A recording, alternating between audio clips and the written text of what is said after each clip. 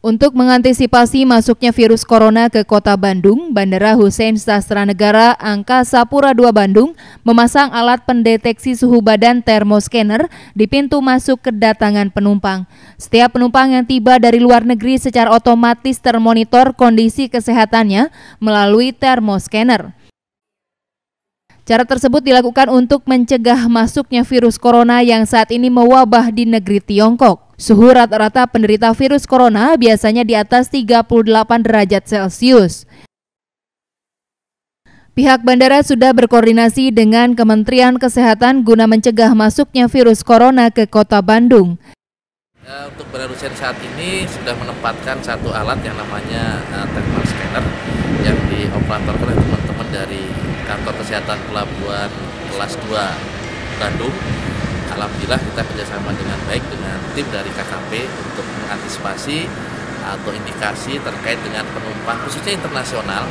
Kita tahu bahwa Bandung destinasi dari internasional hanya dua destinasi yaitu Singapura dengan uh, Malaysia. Saat ini kurang lebih kedatangan uh, ke Bandara Hussein kurang lebih sekitar 900 penumpang per harinya.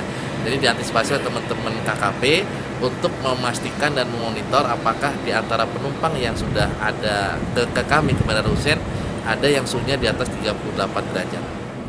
Selain itu, pihak dari kesehatan bandara belum menemukan adanya penumpang yang terjangkit virus tersebut. Biasanya penumpang yang terjangkit virus corona selalu mengalami gejala gangguan pernafasan serta suhu di atas 38 derajat Celcius.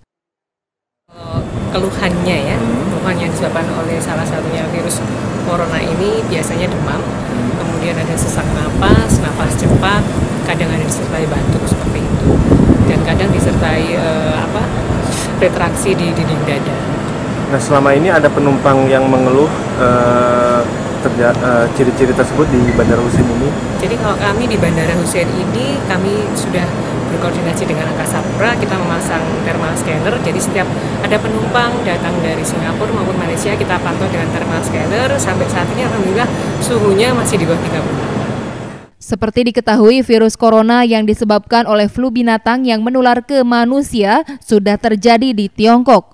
Walau virus tersebut belum ditemukan di Indonesia, pihak Kementerian Kesehatan sudah menghimbau kepada seluruh bandara internasional untuk mengantisipasi adanya virus masuk ke wilayah Indonesia. Yuana Kurniawan, Bandung TV.